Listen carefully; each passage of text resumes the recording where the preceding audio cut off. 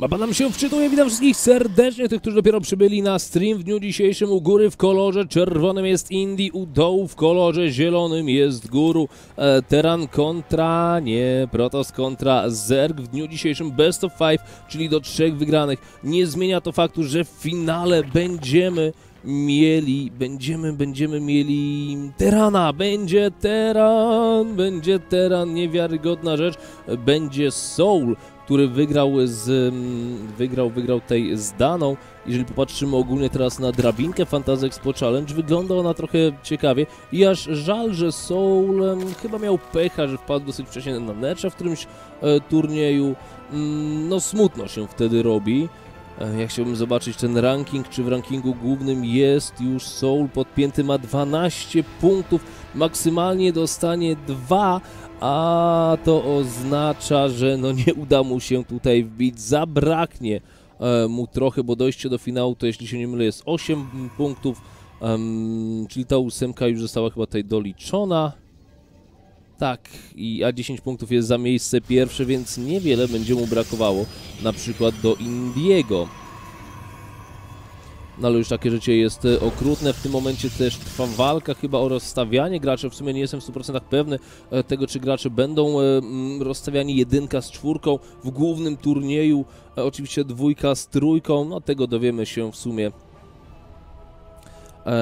w sumie, w sumie niedługo jak coś, a w tym momencie pierwsza proba jedzie na scout. Czy ta proba zobaczyła lingi? Czy ta proba nie zobaczyła tych lingów? Bo tutaj za chwilę będzie dosyć duży problem, e, ponieważ zbliża się 6 lingów, e, a gateway nie jest gotowy. Ta proba na 100% lingów nie zobaczyła i co jest lepsze, nawet tu nie udało mu się zeskautować i to jest szybkie 1 do 0 dla Guru. Trzeba ściągnąć wszystkie proby do walki. E, Pylon postawiony 22 do 16. Musi teraz używać Indii swoich jednostek, nie może stać tego Pylona. No na razie jest nie najgorzej, ale uwaga, Pylon będzie atakowany, potrzeba Zelota. Zelot jest w stanie zabić czwórkę lingów przy dobrym mikro, e, ale czwórka lingów e, też przy mikro jest w stanie zabić Zelota. Po prostu potrzebne jest po obu stronach mikrowanie. Próba, no w sumie nie traci tego Pylona. Do końca to nie wyszło, nie udało się, co jest chyba ważne, e, zabić, zniszczyć Pylona. Gdyby udało mu się zniszczyć Pylona, sytuacja wyglądałaby trochę inaczej. No i teraz oczywiście nie tego Pylona. To był samotny Pylon, który chciał tu trochę dłużej pożyć. Jednak nie. E, kolejny jest atakowany, da radę go zniszczyć. No chyba to już byłoby lekkie przegięcie, gdyby mu się to udało, e, ale jak widzimy trwa cały czas e, gonitwa. Dostawiony jest Mothership Core. U góry jeszcze sprawdzam, tu nie, nic ciekawego nie jest w stanie złapać, ale tak z dwie proby, gdyby udało się jeszcze złapać, e, byłoby na pewno ciekawie, tylko sytuacja u góry jest taka, że mm, mam mniejszą ilość harvesterów cały czas i mamy już Mothership Core'a, potem zobaczyła, czy można odpalić, w sumie nie trzeba było, no ale można. I co się góru opłaciło, jeżeli spojrzymy na stracone minerały, no to stracił tego na pewno, no, są równe straty, ilość harvesterów jest taka sama, i jeszcze postawiony z przodu pylon, żeby nie mógł szybko przejąć sobie trzeciej bazy. Nawet nie wiem, czy była tutaj próba postawienia tej trzeciej bazy.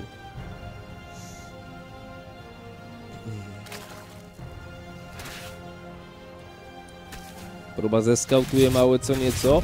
Co się dzieje? Jest w miarę wczesne lery ze strony guru. Kolejne gazy. Czy mi się wydaje, czy guru tu myśli o mutaliskach? Bo jeżeli guru myśli o mutaliskach, to cały jego misterny plan nie, nie do końca zadziała, chociaż nie jest Evolution Chamber, e, może być Roach Warren niedługo dostawione, plus jeden do ataku Roach Warren i później jak się skończy robić Learn na Roach Warren mogą być rozstawione oczywiście e, Speed dla Roachy. E, A jeżeli kibicujecie Indiemu, zmieńcie sobie kolor na czerwony. Osoby, które są za góru, zmieniają sobie kolor na czacie na zielony i pokażcie swoją kolorystykę, pokażcie swoje barwy. Jak macie motę jakiegoś Indiego, to też możecie oczywiście e, nimi zarzucić. Zauważmy, jest te plus jeden do ataku dla Roachy. E, ale te Roache tutaj tak agresji żadnej nie nałożą. Tego powinniśmy być pewni. Nie poradzą sobie z tym. Jeżeli patrzymy też na papierze, Guru jest chyba lepszym graczem e, od Indiego. To jest best of 5. Tutaj mm, jest, powiem tak, do 3 i jest opcja wygrania. E, każdy z każdym powiedziałbym na polskiej scenie. E, no dobra, może niekoniecznie z Nerciem wszyscy mogliby wygrać, no ale jest tu jakaś szansa. Jeżeli chodzi natomiast o Best of Five, to już zwykle wygrywa naprawdę ten lepszy.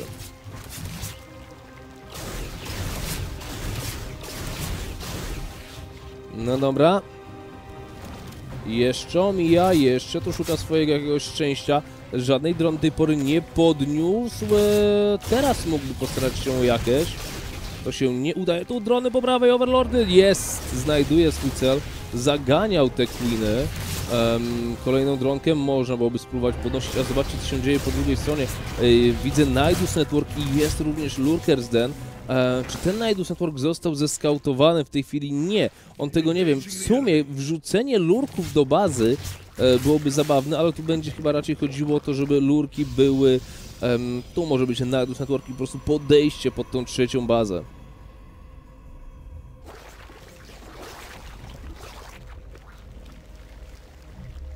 Okej. Plus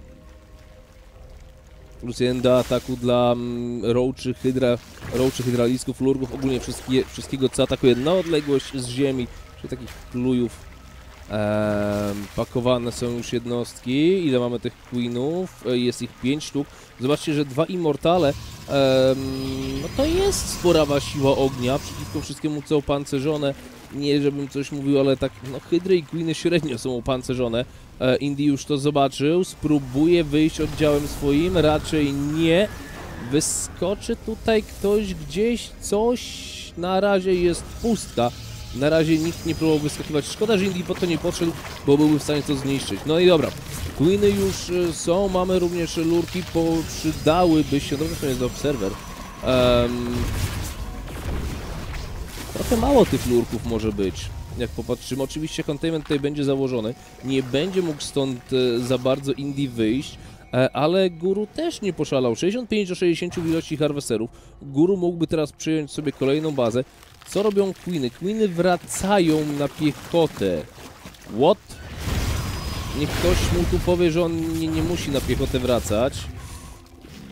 Okej, to był ewidentny misklik. Może creep rozprzestrzenić i może schować się do Nidus Worm. Dokładnie. Już to robi. Mamy mm, cztery lurki. E, To jest w sumie dobra opcja. Tu można podejść, spokojnie jednego lurka zabić, wycofać się. E, prawie drugiego zniszczył. Szkoda tego jednego Immortala. Całkowicie niepotrzebna strata. Mm, Indiemu przydałby się jakiś warpizm i atak teraz e, do którejś z baz. Cztery lurki są postawione, hydraliski czekają, mamy te queeny, tu duża ilość transfuzji poleci, przesadza się guru, ten creep jest świetnie rozprzestrzeniony. Um, Phoenix do scoutu.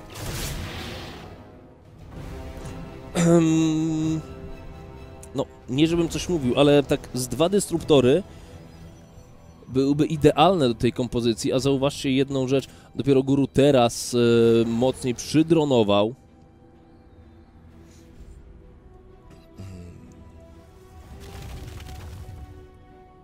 A wcześniej Guru Indie miał przewagę z tym wydobyciem. E, w sumie Feniksy można by tutaj wysłać, żeby popolowały na przykład na Overlordy, e, spróbowały może jakieś dronki jeszcze po, przejąć, podnieść, rozstrzelać. No i korzysta z okazji. Nie wiem, co, o czym myślał ten Overlord. E, jego żywot się skończył. I gdzie jest reszta armii? Nie ma reszty armii. Nie, nie, czyżby armia się schowała? Ale gdyby tak wyszedł, gdyby tylko część jednostek była na zewnątrz, byłoby zabawnie. Byłoby bardzo zabawnie. No i dobra, rusza. Zauważcie, że lurki są niezakopane w tej chwili. Pakowane jest to do środka. Nidus Network zniszczony i teraz zeloty ruszyły do boju. Tu są Queeny. Arkony również się przemieszczają, ależ Queeny teraz oberwały. Guru coś tu najlepszego tutaj zrobił, to aż mi się zrobiło smutno. E, w tym momencie lurki są jednak przestawione, cofnij się tymi destruktorami. Czy są obserwery gdzieś z tą armią? Są obserwery, zeloty ruszają do boju, ale jeszcze destruktory głupio zostały złapane. Lurki gdzieś kiedyś tu były, już ich jednak nie ma, time warp niepotrzebny. E, zeloty koszą te e, hydraliski, ależ Guru się teraz dziwnie załatwił. Nie zdążył uciec armią, nie zdążył się schować. No i Zelot Arkon e, Immortal. To jest kompozycja, na którą Guru w tej chwili nie ma żadnej, e, żadnej obrony. Okej.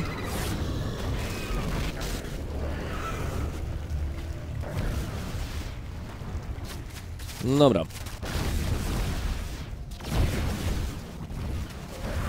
Jeszcze próbuje się e, wycofać, przydałoby się nowe arkony. W sumie czego brakuje? Brakuje zlotów z przodu, żeby te przyjmowały e, uderzenia na siebie, no ale 33 harwestery, 36 harwesterów zabitych, to jednak już robi swoje. Kolejny oddział zelotów pada. E, jak widzimy tu bazy mocno oberwały z i zeloty z przodu mogą przyjmować to na siebie, e, walczyć ekonomicznie. Guru tego nie wytrzyma pewnie. Arkony byłyby przyjemne, mm, ale wydaje mi się, że ten atak może by już powstrzymać. Indy i tak ma sporawą przewagę, albo spróbować zrobić z tyłu te Arkony. Są dwa, są one też przeganiane na drugą stronę. Immortale padną z Arkonów, też zbyt dużo nie zostanie. Oj, bo już Indy może tutaj jakiegoś faila zrobić. Jak to będzie tak dalej wyglądało. Minusem jest to u Indiego, że ten nie może przyjąć kolejnej bazy. Um, Arkon Oczywiście są działa, tu jest obrona. 1000 minerałów z kawałkiem u Indiego w banku. Um, tylko 9 gate'ów podostawiane działa, no ale jak już widzieliśmy, ekonomicznie za mocno oberwał. Um, Zeloty chcą się przywitać z hydraliskami. Zeloty radzą sobie nie najgorzej z hydrami, w szczególności jeżeli z tyłu są arkony, no ale musimy być na podobnej, e, podobna ich ilość, o tak sobie powiedzmy.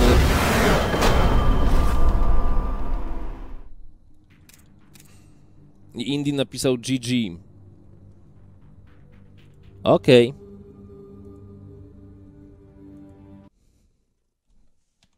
Hydra timing?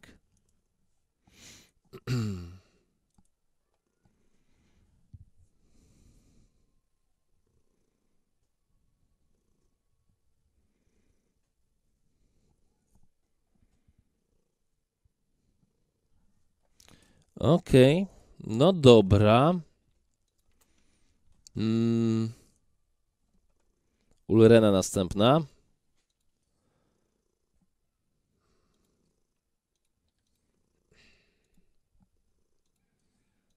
Nie mam, nie, nie, nie mam serca Indiemu napisać, jak to wygląda. Jak, że, um, że zabił 33 karoserii, miał przewagę w wydobyciu ostatnich dwóch minut. Może Niech on lepiej nie ogląda tego replaya.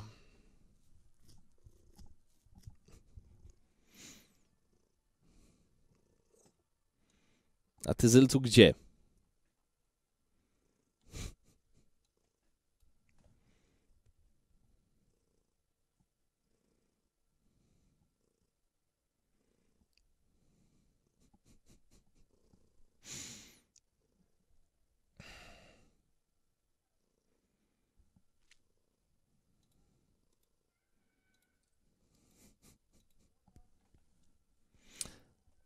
Okay. Indy dosyć duże nadwyżki, 1000 minerałów w banku.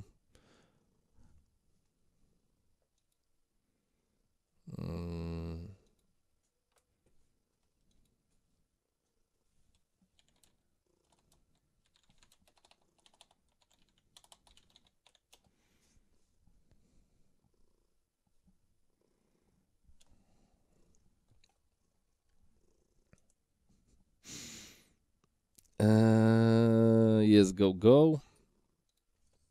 I start.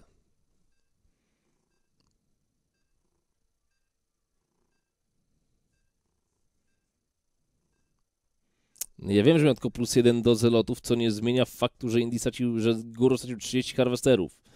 A jest coś takiego jak dropy jeszcze, War Prismem. No nie wiem, wydaje mi się, że Indy za szybko się poddał w tym wszystkim.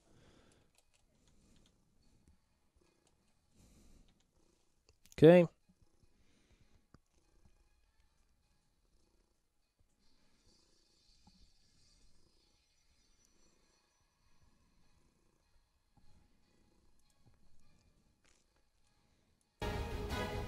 Kolejna mapa przed nami u góry, nie przepraszam, u dołu w kolorze niebieskim jest Indy, Igor Kaczmarek, u góry jest tutaj Szymon, jest Szymon, e, guru jest e, Teran kontra Ach, co ten teran mi chodzi po głowie, Soul mi chodzi po głowie, e, więc Zerk kontra e, Protoss w tej chwili mm, startujemy z tą grą, postawiony pierwszy gateway, czeka sobie również Nexus, mamy Pylona, mamy asymilator, więc tutaj początek e, dosyć standardowy Indie, sprawdza czy przeciwnik ekspansji tu nie stawia i ją blokuje, Guru stawia ekspert po stronie prawej, um, Dobra. Trochę, trochę się zdziwiłem e, w tej grze, bo sytuacja Indiego była była okej. Naprawdę wydaje mi się, że War Prism i Wio z dropami próbować zaganiać przeciwnika, który nie miał dużej armii. Widzieliśmy, że zaopatrzenie armii przed tą ostatnią mini potyczką było na tym samym poziomie 30 e, 1 do 31. Mm, No i te nadwyżki u Indiego po, ponad 1000 minerałów. Gdyby, tak to czasami jest, gdyby nie nadwyżki, gdyby miał zamiast tych 1000 minerałów miałby e, 10 zelotów, mm, tak zwana miazga by była. Byłaby miazga, no ale... mm, Okej. Podwójny gate tego wszystkiego Cybernetic Core, czekamy na ekspansję, ale tu wpierw pojawi, pojawi się dwójka Adeptek. Dokładnie dlaczego? No tutaj był double expand ze strony mm, Guru. Mm, Dosyć szybka ta mm, druga baza i w tym momencie nie ma jeszcze gazu, nie ma gazu, nie ma roachy, nie ma e, lingów na speedzie. Ogólnie to jest bardzo ryzykowne, co robi Guru. Będzie miał do obrony tylko i wyłącznie aktualnie jednego Queena. Drugi jest tworzony.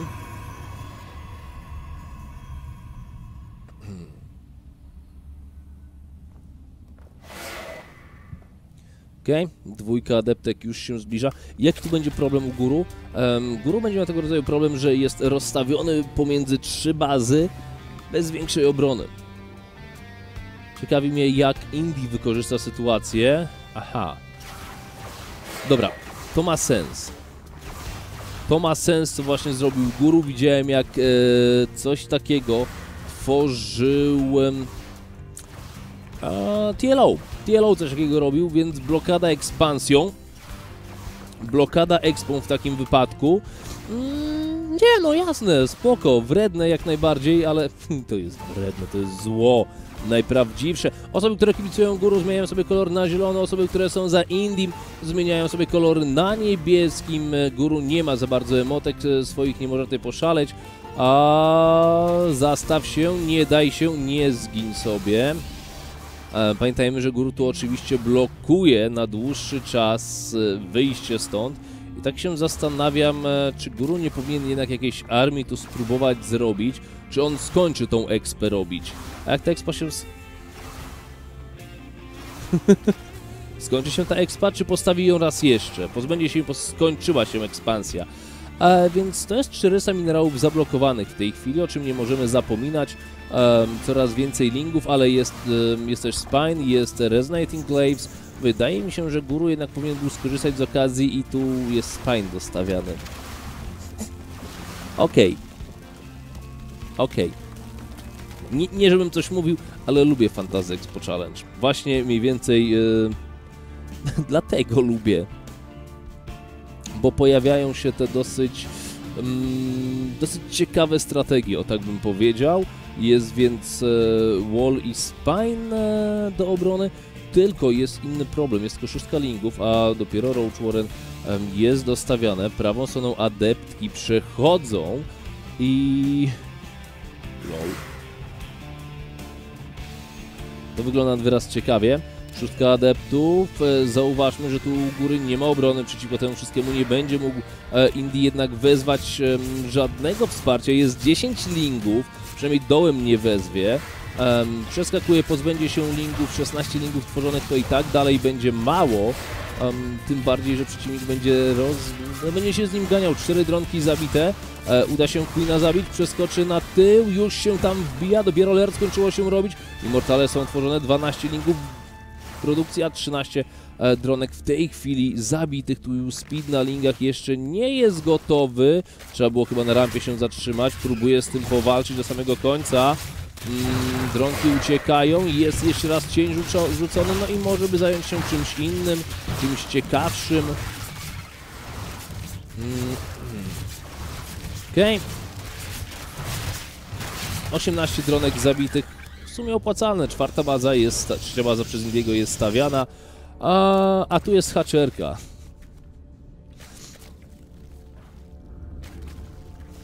A tu jest, e, a tu jest haczerka stojąca jako część walla.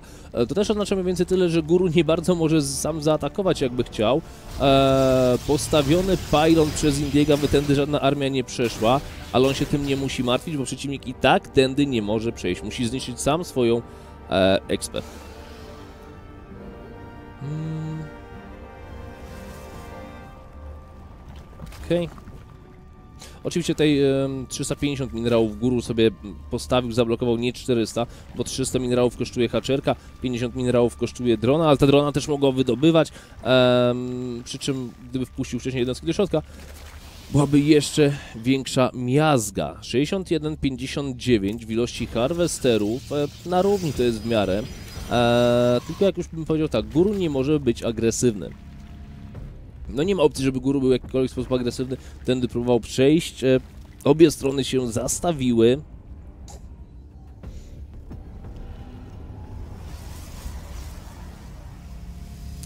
No dobra. Dwa pylony dorzucone, żeby tutaj supply bloka nie było. Photon Overcharge odpalone. No i teraz War Prism i dropy do maina em, byłyby świetnym, świetnym pomysłem. Niech ktoś w ogóle pozbędzie się tego Overlorda, bo on mnie już zaczyna denerwować. Spakowana czwórka Adeptek. Drop do maina oczywiście jest dobrym pomysłem, byłoby fajnie pozbyć się jakoś tego e, Owka, aby nie przekazywał informacji. Roach Hydra, jeżeli chodzi o Indiego Immortale, em, to gdzie zloty, no tutaj to już nie podziała. Tu już ewidentnie nic z tego nie wyjdzie. Piątka gate'ów, e, do tego dorzucone są oczywiście opcje, żeby wie, wiedzieć gdzie są zakopane jak coś jednostki i czyścić creep, e, ale jak zauważymy nie mamy w tej chwili jeszcze postawionego em, no Lurker Zen jeszcze nie ma. Tu byłoby dobrze pozbyć się creepu, a jakby ktoś nie wiedział, sponsorem Fantasy Expo Challenge jest LG oraz Asus Republic of Gamers.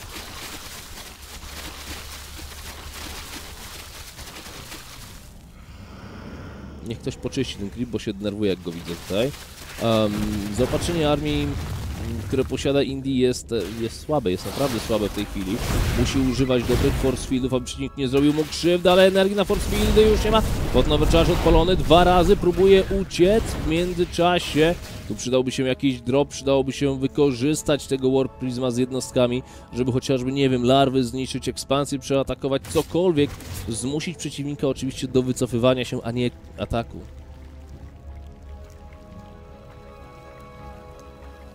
Wow, ile larw. Eee, ile larw?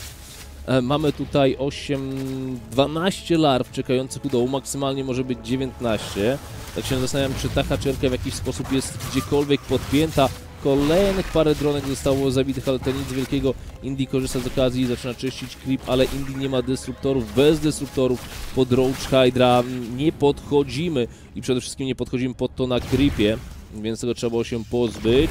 E, gdzie są destruktory? Są dwie sztuki, no ale o to właśnie chodziło. Tu jeszcze był creep, tu jeszcze mógł uciekać. Energia na force fieldy jest. Jednego niestety tylko i wyłącznie. Czwórka arkonów. Tu ma problem pewnego rodzaju Indie, bo zostały zamknięte. Ależ piękny będzie atak jeden. Co z tym drugim? Nie najgorszy, drugi mógł być jednak lepszy, ale Indie ma i tak za mało tej armii. Musi użyć, musi użyć destruktorów za chwilę. Dwa ataki poleciały. Trafił nie najgorzej znowu, ale dalej tej armii ma za mało. Po prostu guru, owszem, stracił dużą ilość harwesterów, e, ale miał czas stworzyć tutaj odpowiednią armię. Immortale zagonione w kozi. Zeloty wezwane Arkon chciałby powalczyć, e, ale nic z tym już nie zrobi. Ta mapa będzie należała do, do guru.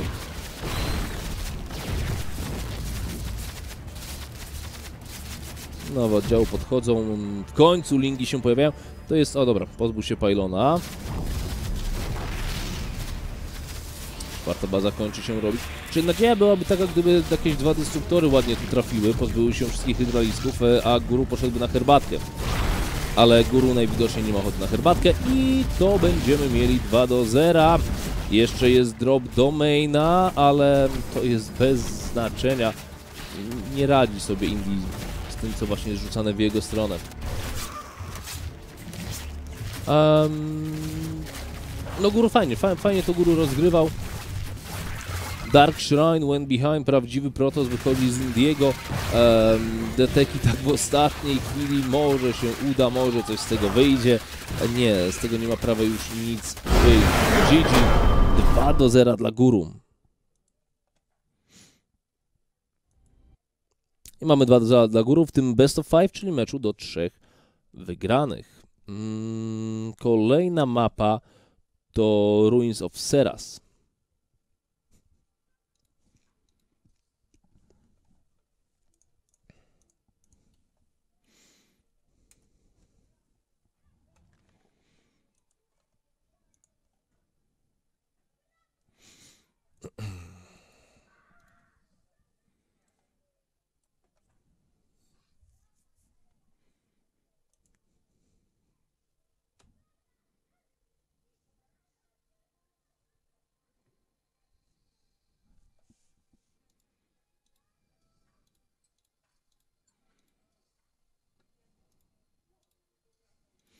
Mhm. Okej.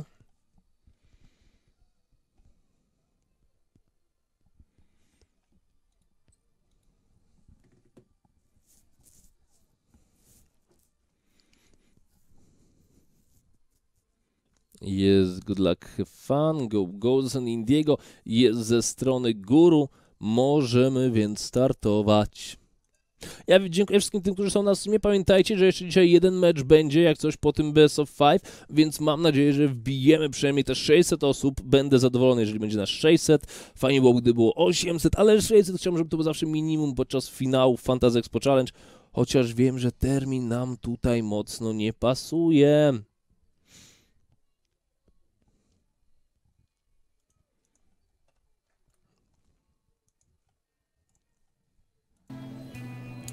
No i start wystartowali po stronie lewej w kolorze, mm, po stronie lewej w kolorze czerwonym jest e, Indy. Jego przeciwnikiem w dniu dzisiejszym oczywiście jest Guru, więc Zerk kontra Protoss. E, mapa, na której może się Protoss oczywiście mocno rozwinąć nie musi się jakoś tak bardzo brać, e, bać raczej wczesnej agresji zergowskiej, no chyba, że miał, miałby tutaj ochotę na jakiś Nidus Network. E, jest trochę wcześniejszy pull ze strony guru, od tak pewnie na wszelki wypadek, e, chociaż bądźmy sobie szczerzy, na tej mapie wczesna agresja Protosa, tak bardzo wczesna, raczej się nie z, niezbyt często się pojawia. No ale nie chciał ryzykować, więc jest pull, potem dostawiony będzie Będziemy mieli ekspansję. Ta też już grzecznie sobie czeka, wspaniale. Ehm, no dobra. I jeszcze oczywiście ekstraktor. Czekamy na gaz, speed na lingach. Może by jakieś dropy lingów dość do bazy, byłoby śmiesznie. E, to się pojawia czasami, jeżeli przeciwnik jest jeden na drugim, jeden obok po skosie. Bardzo rzadko. Okej. Okay.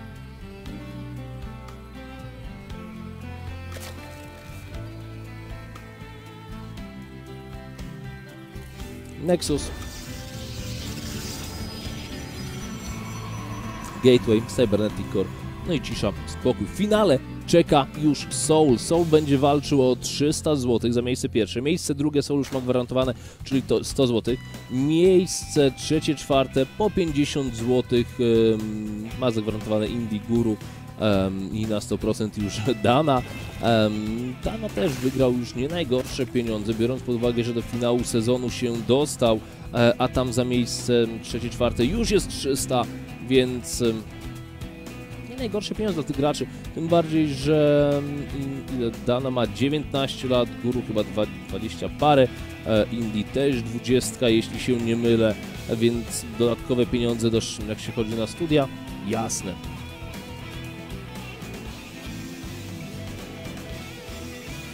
Żaden problem. 12 lingów na speedzie, Tak, czyli jednak tutaj będziemy mieli mocniejszy push tymi lingami. Byłoby fajnie, gdyby to Indie w jakiś sposób zeskautował, byłoby fajnie dla niego. Um, przede wszystkim będzie potrzebował Mothership Cora, którego aktualnie nie ma. Do tego Stalk, więc gorzej być już nie mogło. Okej, okay, ponieważ no, wiem, że chciałby jakiegoś owka złapać, to się nie uda, ale no musi zeskautować te lingi. Jeżeli 13 lingów wpadnie do bazy, zablokuje tą bazę, to będzie problem. Tylko Mothership Core jest już tworzone, kolejny Stalk. Lingi za chwilę będą miały ten speed. Mm, dwa Stalki Mothership Core powinny sobie poradzić jakoś z tym, z tym taki razy drzwi, ale dwa pylony będą zniszczone.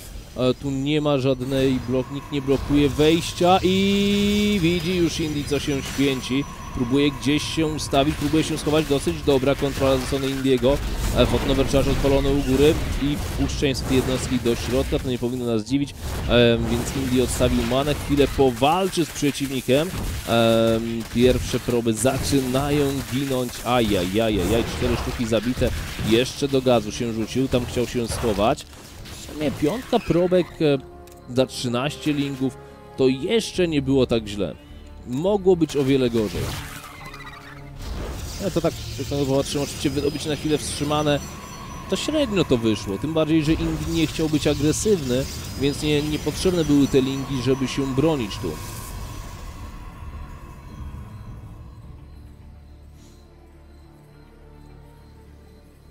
Okej. Okay dostawiony Warprism, 18 lingów i plus 1 do ataku. E, Guru myśli tutaj w dłuższej perspektywie o ultraliskach, um, ale jak widzimy, szóstka gate'ów, tylko wiecie, co byłoby fajniej, a no adepci byli tutaj o wiele ciekawszą e, opcją, adepci z, przeciwko tym oczywiście lingom. No ale nie, nie, jestem pewny, czy taka ilość e, ogólnie lingów wystarczy do obrony przed tym, co będzie się tu zbliżało. Tylko ja nie chcę nic mówić, ale niech ktoś tu zwarpuje coś. Będziemy mieli dropa, tak też jest. Jest drop do bazy, pełen overlord, e, jednostek, atak dołem. Postawiony adept i już pada górą. Mm, pierwsze jednostki ściągnięte, trzy zabite. Gdzie jest ten War Prism? No właśnie, o mój Boże, jakiś piękny Artosy Pylon. Coś pięknego, coś wspaniałego i 5 gate'ów wyłączonych, więc o dzisiaj nie mamy Artosy Pylon, jest Indyk Pylon. Mamy indyczy pylon postawiony, piątka gate'ów, czwórka gate'ów, nie piątka gate'ów niedziałających, biorąc pod uwagę, że miał ich łącznie 7, to musiało boleć, więc sobie nie zwarpuje tu za bardzo jednostek, e, się jeszcze gdzieś w miarę mądrze ustawić, co z tymi pylonami, są dwa dostawione, a lingi jeszcze biegają do środka, do tej bazy, um, stalki muszą się jakoś tej w miarę mądrze pozostawiać, pozostawiają się, tu nie będzie problem. No problemem jest to, że coś, ktoś mu w bazie siedział. Dark Shrine dostawione, będzie kontynuował tą agresję, ale Darki będą tu bardzo ważne. E, coraz więcej lingów biega, zauważmy, że um, jest stworzone, więc oczywiście Ler stoi, które widzieliśmy i no tylko deteki mogą tu uratować jakąś sytuację. Więc tak, to był piękny indyczy pylon. E, fajnie przerzucane są adepci, na tył są przerzucani, teraz coraz więcej dronek jest zabijanych, kolejne adeptki są dorzucane do tej całej zabawy. Warpizm nie może zniszczyć, być zniszczony, on będzie potrzebny na deteki. Tu trzeba będzie deteki wezwać i wrzucić, na razie na to nie jest guru przygotowany.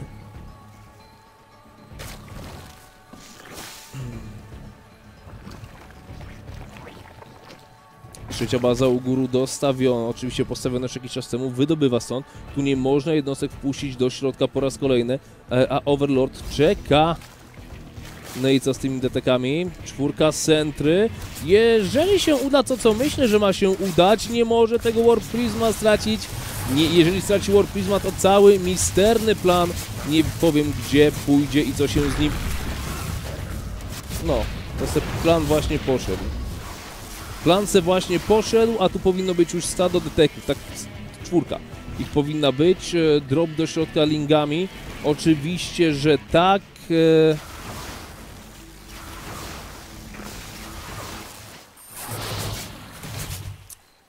Więc tak zwana piękna katastrofa to była. Gdzie są jednak deteki, przebiega sobie jeden, mm, jest też drugi. No, piękna katastrofa, dokładnie tak to wygląda. Chociaż nie ma sporów żadnych postawionych, nie ma więc też jeszcze e, żadnych e, overseerów z jednostek z tego co patrzę. Chociaż Darkshine został zeskautowany i pierwszy overseer jest już tworzony. Dobra, Detek gania, co gania? Queena na razie gania. Detek sobie Queena gania, Observer em, strącony i powiedziałem, strata War Prisma kosztowała go ten mecz.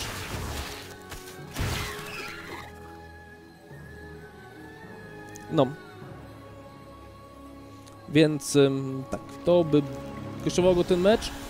Może uda się tym War Prismem jeszcze jednym zelotem coś tu wykombinować, ale potrzebne będzie prawdziwe mikro młodego sosa, nowego, inside joke. Mm, Kto wie, obrony żadnej w tej bazie nie ma. Musiałby się guru bardzo, bardzo, bardzo, bardzo pogubić. Bardzo pogubić. No, naprawdę musiałby się zgubić jak w lesie Jasi Małgosia. Eee, a jakoś tego nie widzę. Byłoby ciekawe, gdyby z gazu się ściągał jednostki. Eee, guru mógłby zapomnieć, później oczywiście ten gaz wydobywać. I ja, 6 dronek zabitych. Nope. Overseer, no i po zabawie. Przynajmniej tutaj. Em, Trzecia baza nie jest przejmowana. Detek pomoże w tej całej zabawie. No musi Indy mieć tą trzecią bazę. No co on tu biedny wykombinuje? 900 minerałów w plecy na minutę. Pneumatic Carapace i plus jeden do ataku. Mm. Da się coś z tym zrobić? No trzeba by teraz cały czas harasować, tylko problem byłby tego rodzaju. W momencie, w którym by Indii harasował cały czas guru, armia guru raczej by nie spadała. Ta armia, zaopatrzenie armii powinno cały czas rosnąć. 90 dronek guru, no guru z lekka tutaj przesadził. Em, dwójka adeptów, trzy zabite dronki, będzie czwarta? Gilda czwarta, dobra. Cztery dronki zabite. Może tak guru postawił ze dwa spajne. I kolejny Warprism zniszczony. Tak, to, to, to, to ewidentnie boli. Um, Overlord obrywa.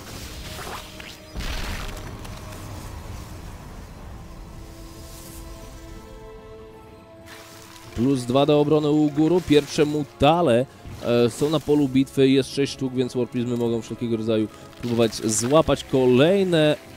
Tu będzie dropował hydraliski. Guru będzie więc dropował hydrale do bazy Indiego. Okej, może być. Może być w tym momencie, chcę wszystko. Wszystko chcę zobaczyć.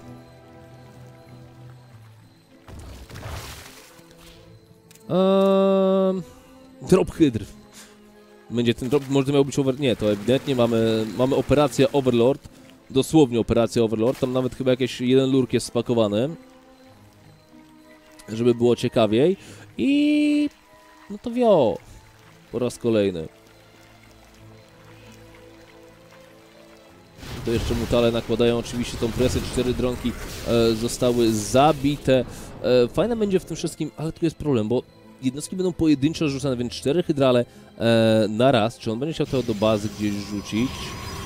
Mm, nie ma w sumie Indii żadnej obrony przeciwlotniczej, żeby się tym zajął.